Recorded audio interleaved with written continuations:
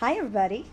My name is Mrs. Marshall. Your child calls me either Senora Marshall or Michimacho, and this is the class that they come into. So, this is the classroom that we live in for 40 minutes every day.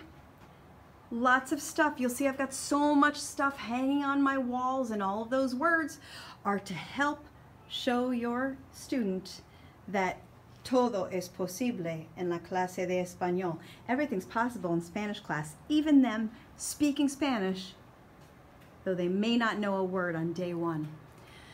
So I give them lots of supports. We go very slow, and I point, and I pause, and I give them opportunities to digest what I'm saying, do lots of listening, lots of talking, and hopefully while they're here, they find it to be a fun time, fun experience. When the kids come into the room, we start usually with calendar talk. That means we talk about the calendar that's right there over my shoulder. What did they do over the weekend? What are they going to do this coming weekend? How are their classes going? What activities are they doing after school? So many options to talk about, and all of it is about what they are interested in and what they like to do because that's what they're interested in. You'll see that I have two rows of seats. I also have some extra seats. I've got a fun green chair in the back. I've got some tire seats that the kids can sit in. I don't generally assign seats unless I'm having a a problem getting someone's attention or it's easier for someone to focus somewhere. But for the most part, as long as things are going well and easily for people, they sit wherever they want and they can change their seats every day. I love to use technology in the class. I love Snapchat filters. It's fun to make stories with them, little short movies for the kids. Makes it fun. I also love my Bitmoji. We do special person interviews on Tuesdays and Thursdays. That's where we talk about one of the kids and we ask them questions and um, find out all about them. And the other students' jobs is to pay attention and learn about their classmates.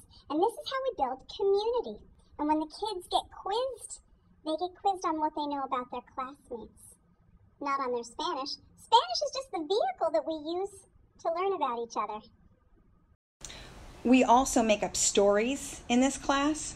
I'll ask them a story. That means I ask them for all the details. Is there a boy or a girl? What's their name? How old are they? Where are they from? They give me all the details. What's the problem? And then we make up the story together. And then they're really invested in it because they've created it and they remember it and we practice it and we do all sorts of things. And this is how they're really going to learn because then we write it up and they can read it and they're creating language and it's cool. My goal is for class to go really fast and to be really fun. I want them at the end of class to be like, oh my goodness, we have to leave already? I can't believe class is over already.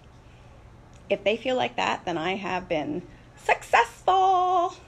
I do a lot of brain breaks, short games that means like 30 seconds to a minute, maybe two minutes. And it's enough to get them up in between activities and moving so they feel like, wow, things are happening. And it goes fast, and then boom, on to the next thing.